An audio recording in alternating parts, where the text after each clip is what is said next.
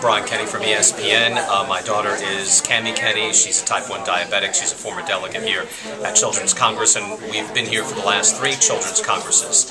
Um, it's always great for my daughter to be here to see all the other kids with type 1 diabetes from around the country. She gets to bond with them. She gets to see that she's not alone in this fight, either with other children from across the country or with the support of JDRF. I think with JDRF pushing for the best in technology and still pushing for a cure, I think we all feel hopeful when we get together.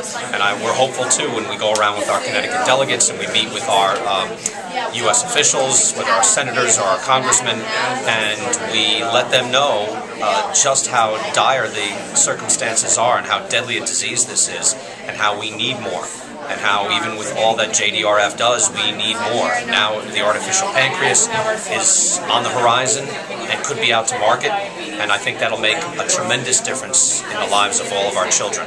So I hope that this pushes that along, and I hope that we stay at the forefront in front of the senators and the congressmen, and we keep pushing, and we get these things available for our children and lead them to better lives.